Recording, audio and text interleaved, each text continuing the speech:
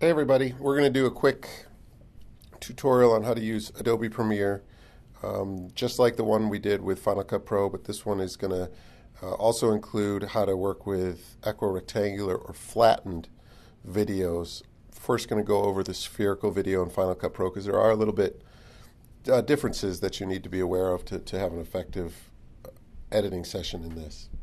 So first thing I'm going to do is create a new sequence. Sequence should match the spherical ratio of the of the video, which is 1504 by 1504. I have a preset right here. You'll see the settings are a 2997 frames per second. It is 1504 by 1504, um, and it's going to be an H264 when it, when I render it out. So I have a 1504 by 1504 sequence, and when I import my test videos in, sometimes in Premiere, you will get a notice that says, hey, do you want to change it to the, the, the, settings of the clip or do you want to keep the settings that you've, you've made? Always keep the settings you've made. If you've made a 1504 by 1504 299, keep that. Do not let it change it to the clip settings.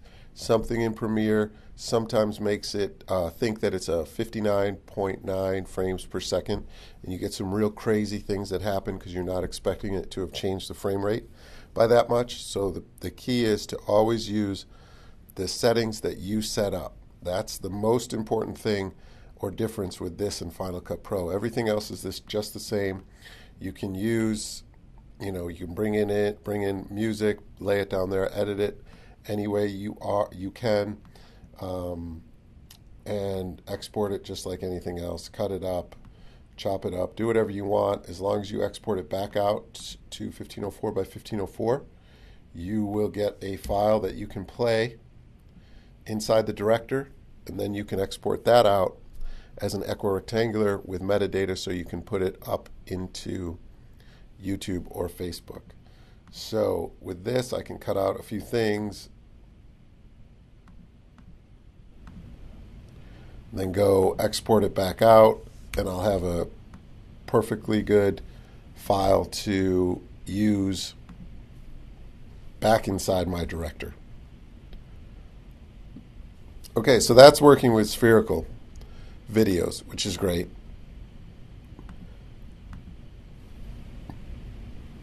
Now I want to get into working with equirectangular videos. So these are the videos that you've already you've already flattened with director, and they come out as a as a as a real um, long rectangle, and that's the actually what YouTube and Facebook are are looking for uh, with the right metadata. Uh, let me see if I can go new sequence. I have a director export sequence which has a frame size of 2560 by 1280.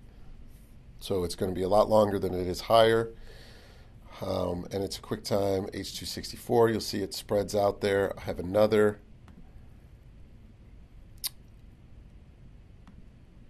test file here, bridge from director export. Once I bring this in,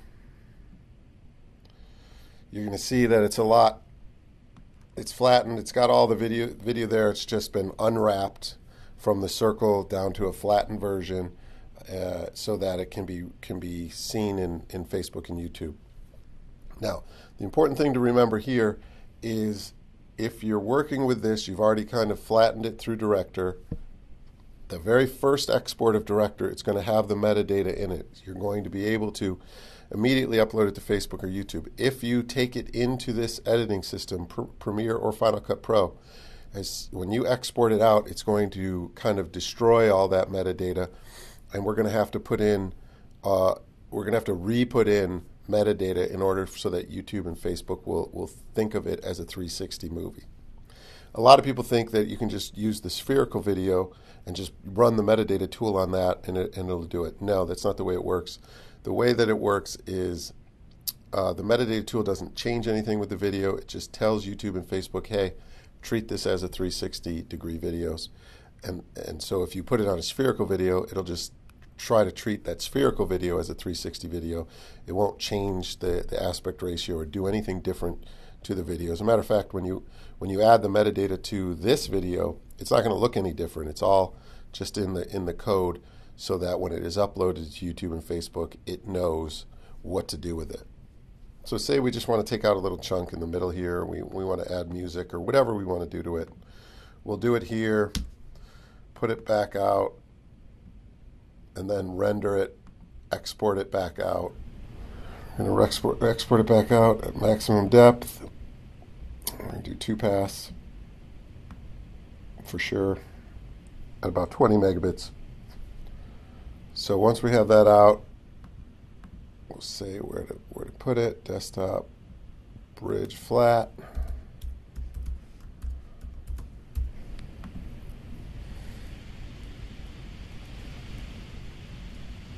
Okay, once that's done, we can go look, bridge flat, we can open it up, we can see it.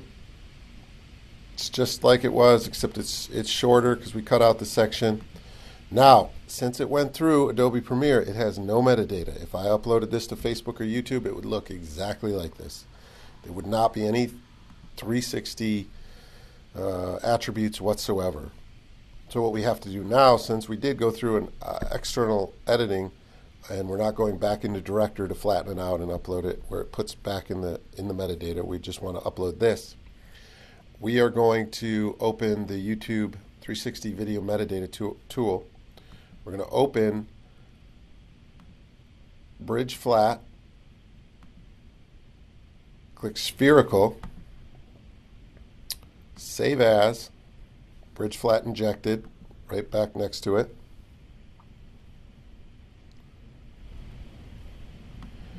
Quit that. And now this bridge flat injected, even though it looks no different than the other one, it now has the metadata needed for Facebook and YouTube to recognize it as a 360 degree video and it'll be completely interactive when you when you upload it. So an important thing to remember is when you're working with spherical videos or flat ones like this, you can edit it just like a normal video if you, if you watch the beginning of the tutorial and then export it back out as a 1504 by 1504 spherical video, bring it into Director, and then export it to equirectangular or that long rectangular flattened version, and that will put in the metadata needed, so you don't need the, the step for uh, the 360 metadata tool. It's only when you've already flattened it, you like you maybe like editing with the flattened version better, and so you edit what you need to edit. And before you, when you export it, before you put it up to YouTube or Facebook, you're going to have to go through that extra step of adding the metadata back in in order for it to be interactive. I hope it helps. I know it can be confusing. But uh, once you do it a few times, it's really a pretty simple and, and fun way to kind of get creative with your videos. So let me know if you have any questions, and uh, thanks again.